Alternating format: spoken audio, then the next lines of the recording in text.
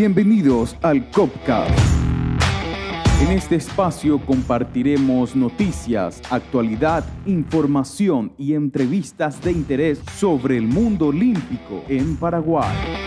Y el Copcast nos trae hoy la entrevista a Fabio Deudán, responsable de la unidad de controles de la ONAT Paraguay. ¿Qué es la ONAT? ¿De qué se encarga la ONAT? Todo esto y más en el Copcast, un podcast del Comité Olímpico Paraguayo. ¿Qué es la ONAT y de qué se encarga esta organización? La ONAT Paraguay es una organización, digamos, de reciente creación. Tenemos eh, casi cuatro años de, que se creó la Organización Nacional Antidopaje y tiene como puntos fundamentales eh, la educación, primeramente, luego tenemos otro punto fundamental que es el, el área de controles, ¿verdad? Hablando puntualmente tenemos puntos principales como educación y también como la, eh, la parte de controles.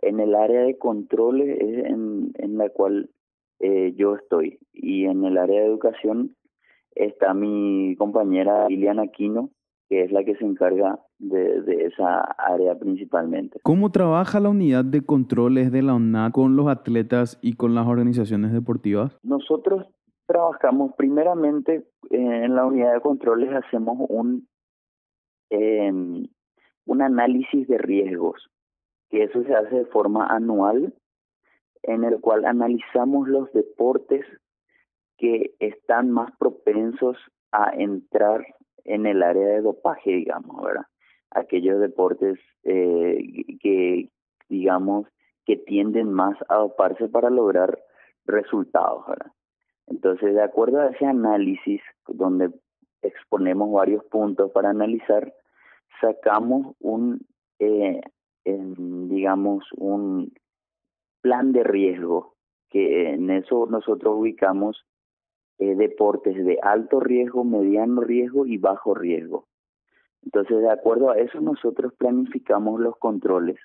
Obviamente los controles eh, van a ser eh, van a ir mayormente dirigidos al plan, al, a los deportes de alto riesgo por el por el hecho de que son más propensos a, incluirlos. No quiere decir que los demás deportes no lo no hagamos controles, sino que mayormente va a estar recargado en esa área.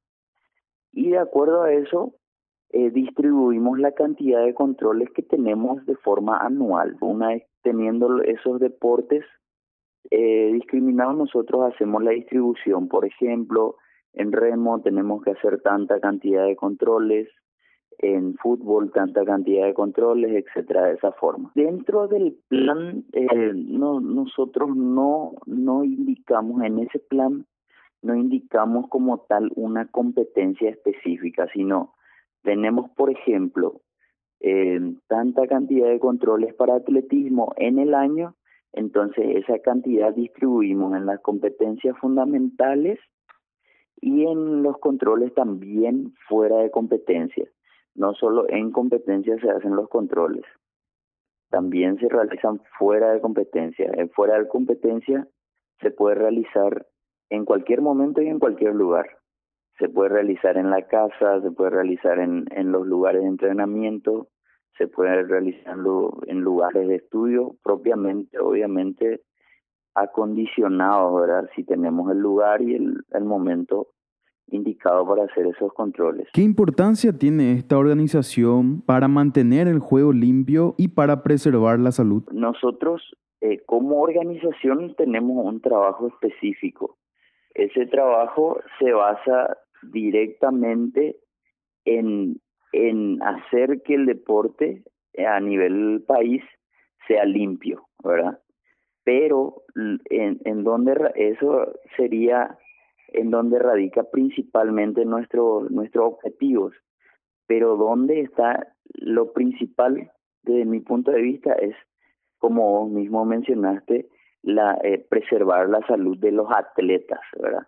Porque tal vez nosotros eh, eh, no, a nosotros nos vean como una entidad en el cual buscamos encontrar, digamos, a gente que se que está jugando sucio o se está dopando, ¿verdad? principalmente es ese no es nuestro objetivo, nuestro objetivo es que esté libre de dopaje.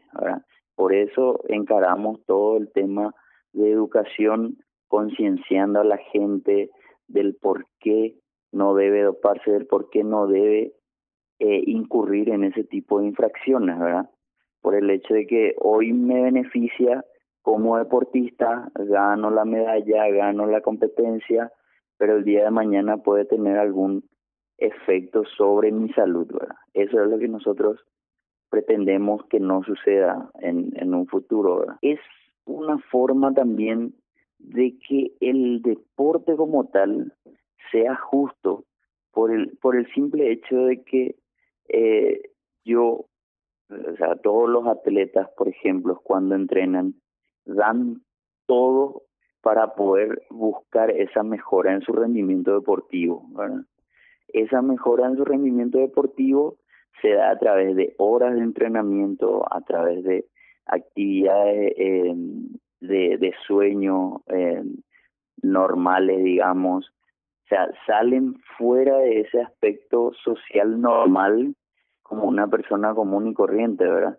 Entonces, todo eso se ve reflejado en un, digamos, en ganar una competencia de forma justa.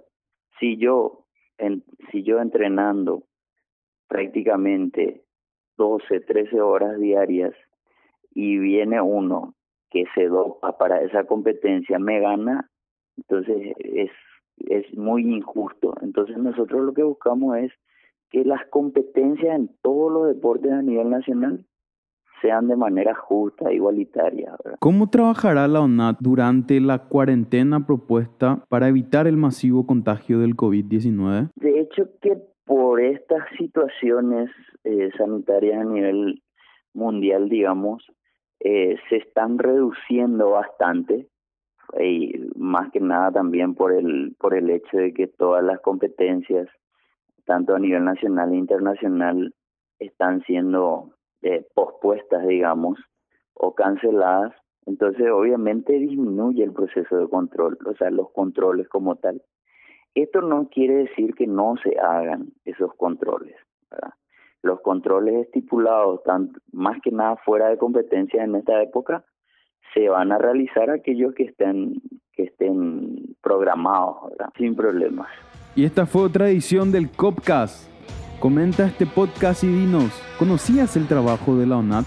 Seguinos en nuestras redes sociales, arroba Coparaguay en Twitter e Instagram, Comité Olímpico Paraguayo en Facebook y nuestra página web cop.org.py. Esto fue el Copcast, un podcast del Comité Olímpico Paraguayo.